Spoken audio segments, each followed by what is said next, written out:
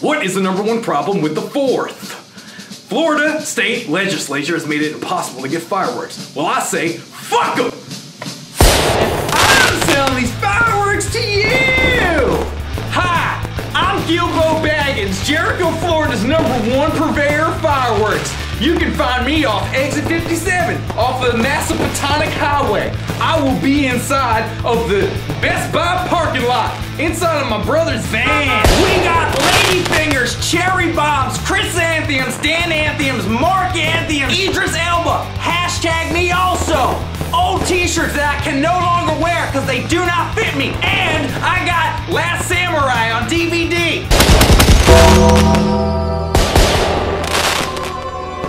It is I, the real firework king of Jericho, Florida. Cephas Boom Boom Taylor. My fireworks come direct from the People's Republic of Communist China. The supreme leader himself, Sherpa, bestowed them unto me, and now I am selling them to you. I am slashing prices on my fireworks. I even have personalized messages to fit anyone's occasion. Messages like, Linda, will you marry me?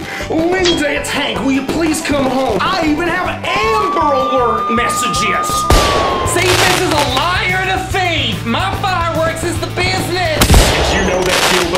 Served a whole nickel in the state penitentiary? You want that dirt getting all mixed up in your family's vacation? I doubt it. My record is clean. Fireworks, undo vaccines. You gotta go and get them all over again. Where's your proof, Gil? I'll sue you. Bring it, bitch! I got a whole retainer of lawyers that explode into fireworks that can be yours for $17.99. Gil is a known child molester. What the fuck, man? I got a wife and kids. You can't just go around saying that shit. Buy my fireworks!